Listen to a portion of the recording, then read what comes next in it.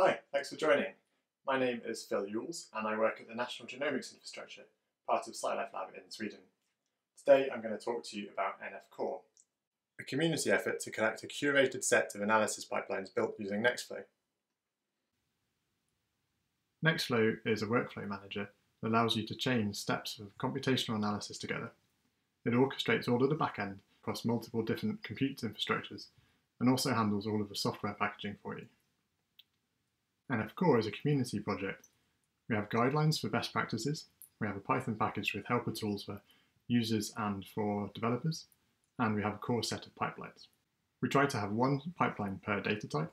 Currently we have 25 different release pipelines, all of which have DOI and tagged software releases, so they're highly reproducible. One new feature for NF-Core pipelines, which is just being finished now, is pipeline schema. Nextflow pipelines have a special variable type called params. When you run a pipeline, it behaves as you expect, but if you specify a double dash with that variable name, it will be overwritten. These are used extensively to customize the way in which pipelines are run. However, pipelines can have a large number of params, making it difficult to know what's available, also making documentation difficult. We're adding a new file to our NF-Core pipelines to describe these parameters, give extra metadata such as their type, and also description and help text.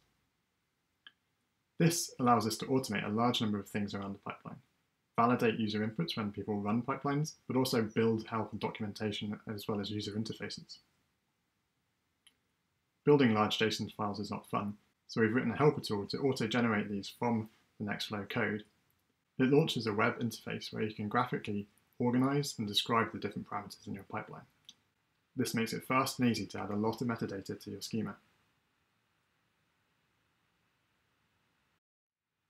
Because the schema are totally standalone, we can start to use them at other places, such as on the web. Here I can find a pipeline I'm interested in, click through and just hit launch. I'm taken to a web page which is built dynamically using the schema, and then go through all of the different pipeline parameters, fill in what's important, and read help where necessary. All of the inputs are validated, so when I get to the bottom, if I click launch and something looks wrong against the schema, I'll be immediately told.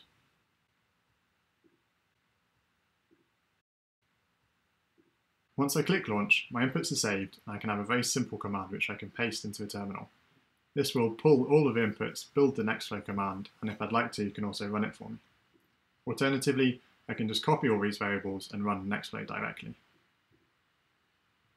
To ensure that all NF-Core pipelines adhere to the guidelines, we make extensive use of code linting. This checks the pipeline code to make sure it passes all of the different te lint tests. This is run automatically whenever you push a change or open a pull request on GitHub.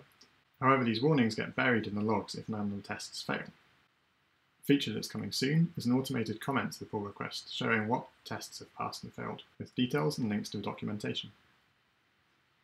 Every NF-Core pipeline has a minimal test dataset. However, we'd really like to run on full-scale datasets as well.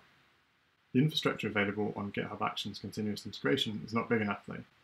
So in order to do this, we started a mini project called AWS Megatests. This uses GitHub Actions but launches a full-scale run using AWS Batch.